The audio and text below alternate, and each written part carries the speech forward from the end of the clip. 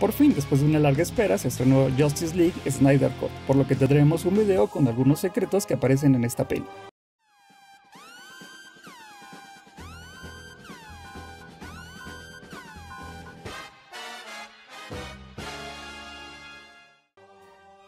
El director Zack Snyder realiza un cameo en esta peli. Esta es en la escena donde Lois Lane está saliendo de Fred and Ginger. Podemos ver al director que aparece en el fondo y recibiendo un café. Un dato adicional es que la locación es una recreación de su cafetería favorita. This is fine. Wonder Woman aparece parada en la suerte que comúnmente conocemos como la justicia. En este caso tiene un significado más profundo, ya que en realidad se trata de Temis, la diosa griega, que es la encarnación del orden divino, las leyes y las costumbres.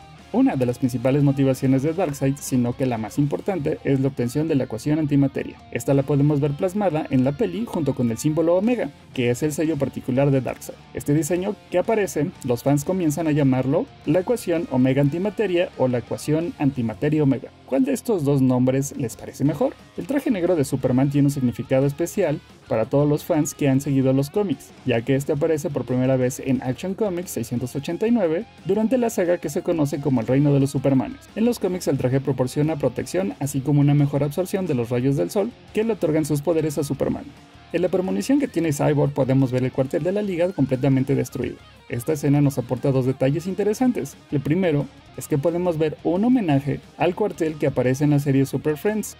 Y el segundo es que, aunque aún no se ha confirmado, al parecer el Green Lantern que podemos ver derrotado podría tratarse de Kilowog. Este Green Lantern, aparte de ser uno de los más importantes, también es uno de los mejores amigos de Hal Jordan.